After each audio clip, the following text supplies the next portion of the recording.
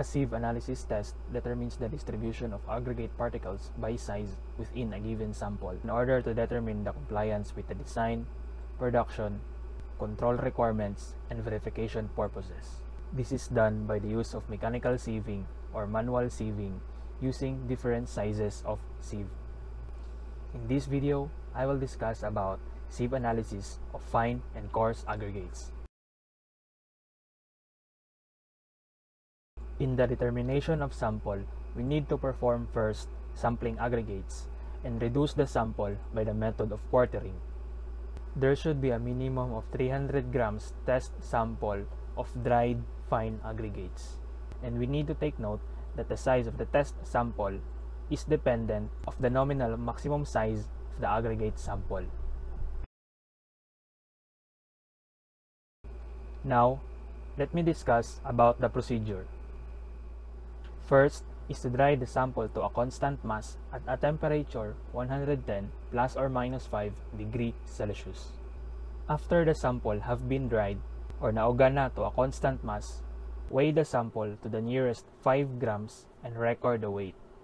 But before that, kailangan papabugnahon ang test sample nga gikan sa oven to a room temperature ay ha timbangon. Next is to select sieve sizes na nakadepende sa specification requirement of the sample material. Ang grading requirement kay nakadepende pod sa specification requirement of the sample. It is important to limit the quantity of material in a particular sieve para tanan particles kay matagaan og chance na makalusot sa sieve openings.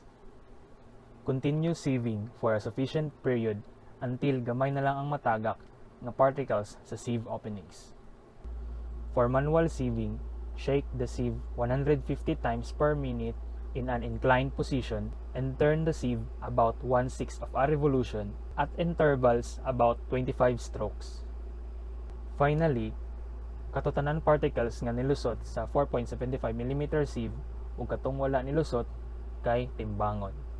For fine aggregates or katutanan particles nga nilusot sa 4.75 mm sieve, perform wet sieving as explained in the previous video.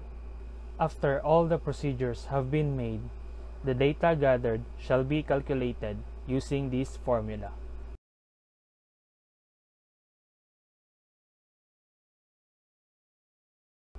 As shown in the formulas, fineness modulus is calculated.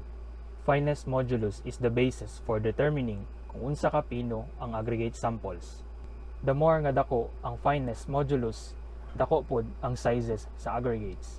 A typical fineness modulus for fine aggregates used in Portland cement concrete is between 2.7 and 3.